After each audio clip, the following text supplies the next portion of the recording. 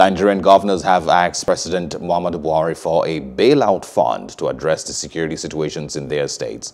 The governors made the submission on Tuesday at a meeting between President Muhammadu Buhari, members of the Nigerian Governors Forum, Security Council, and security chiefs at the Presidential Villa, Abuja.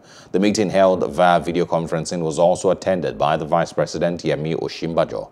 In a statement signed by the President, uh, President Buhari's spokesperson Garba Shehu, Governor Kayode Fayemi of Ekiti State, in his remark urged the president to consider a bailout for states, especially as governors allowed the federal government to withdraw $1 billion from the excess crude account for the procurement of weapons to fight insecurity in the country. In their submissions anchored by Governor Kayode Fayemi of Ekiti State and Governor Babagana Zulum of Borno State, the governors highlighted the problems of poverty, unemployment and trust deficit between the military and civilian populations and the inflow of small arms into the country. We're now joined via phone by Mukhtar Mohammed, a financial analyst. Thank you so much for joining us. Thank you. Good afternoon. How do you describe this move by governors? Uh, this is not for salary this time, but to fight insecurity. What are your thoughts? you know, sometimes it confuses me the way the governors think, and um, sometimes that's why we are where we are today as a nation because of the type of governors we have or the type of people that govern us all they always think when there's any crisis is either bail me out, bail out, bail out. Nobody look inwardly to address the root cause of the problem. Now you're talking about having a, a bailout fund for security. What happened to the security vote that is being given to governors? How do you account? They the one? Uh, is it the government that fund the police? Is it the government that's funding the military? Those are federal uh, agencies. They're federal government funds. So what do you actually need security fund, bailout fund for? We, they need to come out clear. Unless the federal government is saying that we have handed over the security apparatus to the state government to fund. Because I don't understand what you mean by you want to start fund, you need bailout fund. It's, it's, uh, it's, it's very appalling. Let me also ask, you know, because this also most likely brings forward the, the question of fiscal federalism once again. Um, do you think that maybe this is another sign that fiscal federalism is the way out, where states should be able to fend for themselves instead of going, going cap in hands to Abuja all the time?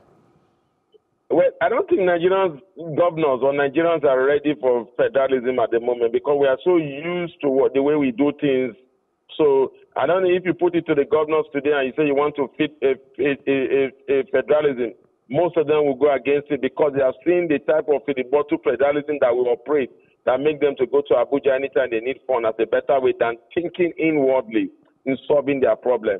So I don't think the governors will support that. But for me, the way to go in security is to really spell it out. Because even when the governor himself have complained, governors have complained that they don't have control over even the police, commissioner of police. They don't even have control over the military. They cannot give order to the police to come in. They cannot give order to the military, despite being the chief security officer of the state.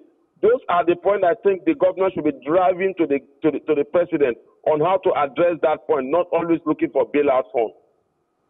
And is it also high time um, that we take a look at uh, the security vote idea uh, towards states? Is it high time that we start to ask questions about what uh, state governments are using these funds for?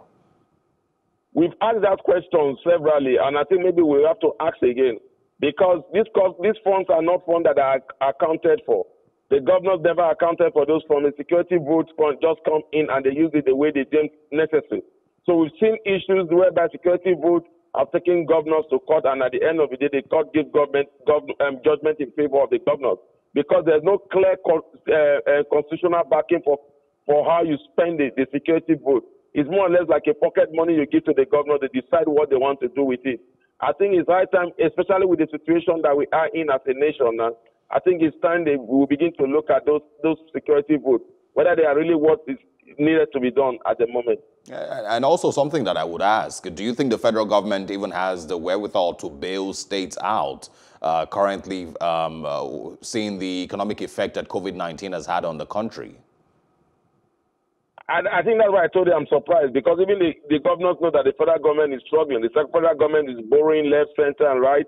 The federal government is going cap in hand, begging Chinese, begging ADB, begging World Bank.